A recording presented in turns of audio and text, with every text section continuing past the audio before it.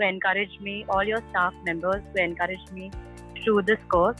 Um, I can proudly say I'm happy that I took up this course, and um, I had you and the other uh, other teacher, Ruchi ma'am, as my um, head who was helping me out.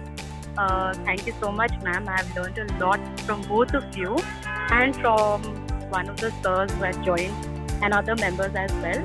I don't know their names, but thank you so much. And I would really like to thank each and every uh, participant or each and every student who was there on this group. You all have taught me a lot also.